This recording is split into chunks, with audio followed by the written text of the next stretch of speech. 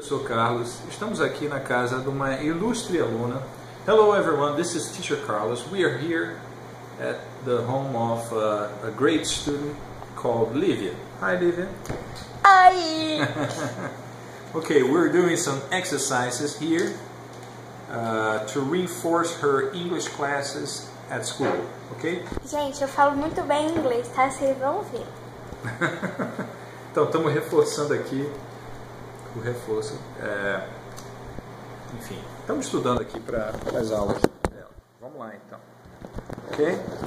Tá gravando? Ok. Então vamos lá. Read. Vamos lá. Você faz a pergunta, eu faço a resposta em inglês. Ok. Read, please. Leia, por favor. Where is he from? He is from Brazil. Agora eu pergunto, você responde. Now I make the questions and you answer. I ask you answer. What's his first name? His first name is Ron. Very good. Bing! Bing! All right. What's your name? My name is Livia. Where are you from? I'm from Teuzi, The USA. USA. Yes. Okay. Uh, what's her nationality? What's her nationality, Livia? Um, he's Chinese. She is Chinese.